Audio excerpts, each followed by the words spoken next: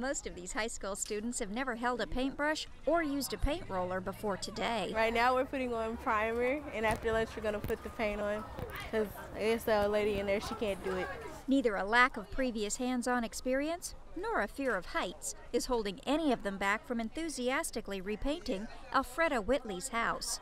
She estimates it's the first fresh coat of paint the outside of her home has seen in at least 20 years. Oh, it's going to be wonderful. It's going to be wonderful when they get to paint all these kids and hot as it is out here and Oh, it's just a blessing. That's all I can say. It's just a blessing. The students are painting Whitley's house as part of a collaboration between the Upward Bound program at Rogers State University and a nonprofit organization called Rebuilding Tulsa Together.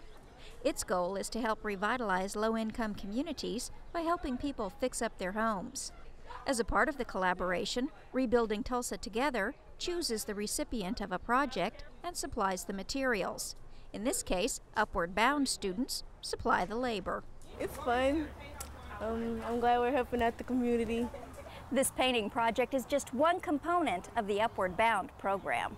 It's a program uh, that has been in existence since about 1965, and it's set up to help students uh, from a combination of low-income backgrounds as well as students, neither of whose parents has uh, earned a four-year college degree.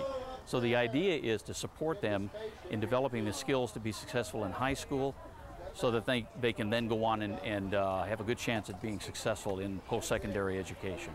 We have tutoring and in the summer we go to school on a college campus for six weeks. In addition, the students are required to do service projects. It's so they discover the value of giving back to the community. In Upward Bound, we think that's an important part of education. It's, it's not all just what can I get from it, but a, a truly important part of it is given my talents and what I have to give back, how can I then share that with the community? As for Whitley, she's delighted the students are sharing their talents and developing a new sense of civic duty while painting her house. It's just a blessing to me, so I just thank God for it. In Tulsa, I'm Cathy Tatom, the Oklahoma News Report.